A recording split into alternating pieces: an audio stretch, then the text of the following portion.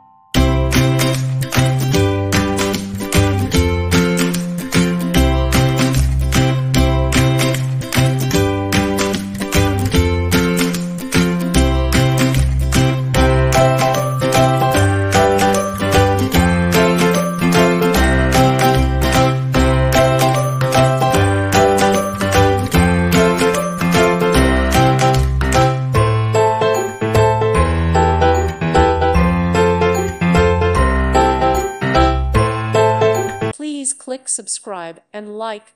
Thank you. Thank you for watching. God bless.